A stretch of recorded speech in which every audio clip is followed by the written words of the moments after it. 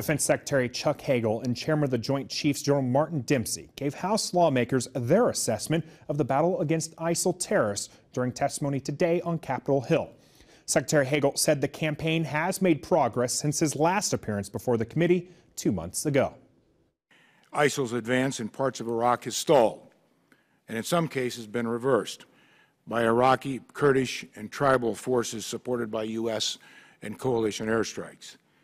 But ISIL continues to represent a serious threat to American interests, our allies in the Middle East, and wields still influence over a broad swath of territory in western and northern Iraq and eastern Syria.